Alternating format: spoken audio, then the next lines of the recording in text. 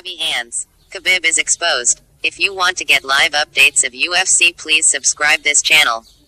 Connor Ruebusch and Patrick Wyman look back at the madness of UFC 223 and preview Dustin Poirier versus Justin Gaethje.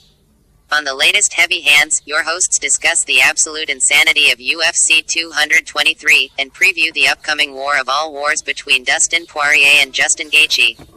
Topics include Khabib Nurmagomedov's disappointingly dominant win over Al Iaquinta, the ever-improving skills of Rose Namajunas, and her masterful fight with Joanna Jedrzejczyk. Zabit Magomedsharipov's icy demeanor versus the burning fury of Kyle Bochniak.